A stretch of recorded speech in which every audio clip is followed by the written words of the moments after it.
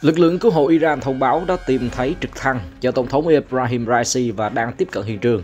Reuters dẫn lời một quan chức Iran cho hay, chiếc trực thăng của Tổng thống Raisi bị cháy rụi trong tai nạn và thật không may, e là toàn bộ hành khách đã thiệt mạng. Theo AFP, đài truyền hình nhà nước Iran, Press TV đưa tin rằng không thấy dấu hiệu của sự sống tại khu vực xác nhận trực thăng gặp nạn nằm ở đông bắc Iran. Press TV sau đó cho biết đại diện tổ chức Trăng Lưỡi Liềm Đỏ nói không có dấu hiệu sự sống tại hiện trường vụ rơi máy bay. Trước đó, hãng Fars ngày 20 tháng 5 đưa tin các nhóm cứu hộ đang khẩn cấp di chuyển đến khu vực phát ra nhiệt do một máy bay không người lái của Thổ Nhĩ Kỳ phát hiện, nghi là vị trí trực thăng do Tổng thống Iran Ebrahim Raisi rơi. Một quan chức thuộc tổ chức trăng lưỡi liềm đỏ tại tỉnh đông Azerbaijan ở Iran cho biết, nơi phát hiện nguồn nhiệt gần làng Tavil. Nơi này cách thành phố Tabriz khoảng 100 km. Tuy nhiên, Press TV sau đó cho biết đội cứu hộ không tìm thấy trực thăng rơi tại điểm này.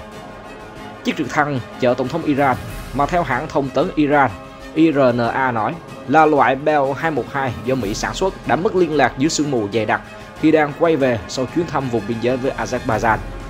Trên trực thăng còn có Bộ trưởng Ngoại giao Iran Hossein Amirabdollahian.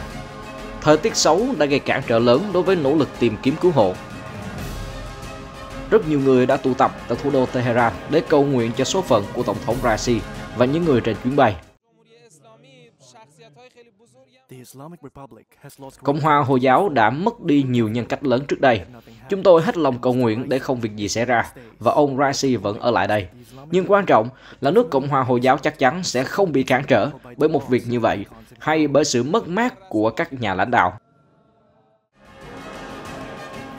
Ông Raisi được cho là một gương mặt có nhiều khả năng sẽ kế tục sự nghiệp của nhà lãnh đạo tối cao Ayatollah Ali Khamenei, hiện đã 85 tuổi. Hãy bấm đăng ký kênh Điểm Nóng Toàn cầu và nhấn nút chuông để dòng thời sự thế giới luôn sôi động trên màn hình của bạn. Điểm Nóng Toàn cầu, video mới nhất về thời sự thế giới từ báo Thanh niên